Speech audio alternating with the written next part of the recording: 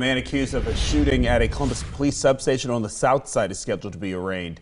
Columbus police identified the suspect as 33-year-old Caleb Queen, who is now facing multiple charges, including felonious assault. According to police, Queen shot at the substation on East Woodrow Avenue multiple times while in his car. He also allegedly fired at another car. Police arrested the suspect following a short chase. They say he admitted to the shooting and officers found a gun in his car.